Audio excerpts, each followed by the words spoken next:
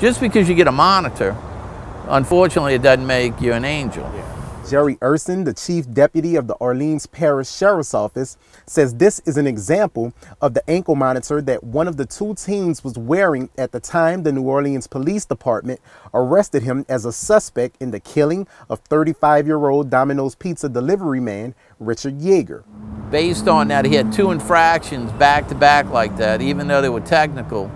Uh, and he returned home both times when he broke curfew. Both teams had court ordered ankle monitors, and one of them was assigned to the Orleans Parish Sheriff's Office.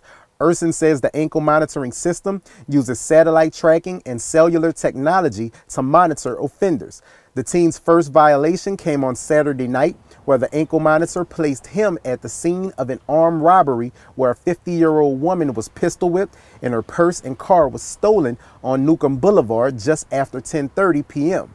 While the monitor doesn't tell them what the teen was doing when he left his restricted area, they gave him a verbal reprimand after that violation. His second violation occurred during the course of the NOPD's investigation into the slaying of Richard Yeager. And was able to detect that this person was at the scene of the murder during the, the time of the murder.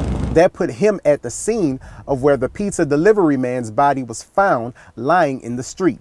The NOPD contacted one of the Orleans Parish Sheriff's deputies once they learned that the sheriff's office had already obtained an arrest warrant for the team. Uh, we presented an informational pack to the juvenile judge uh, along with an arrest warrant request. Ursin says the sheriff's office had no authorization to pick up the teen after the first violation. They had to follow the guidelines set by the juvenile court for the ankle monitoring program. Uh, he's been on the program for us since September 2nd and has been a model uh, client for us up to this point. He also says that had that been an adult offender in the program, they would have had the option to make an arrest after either violation. He says while the software can track you wherever you go, it doesn't alert them when there is a problem.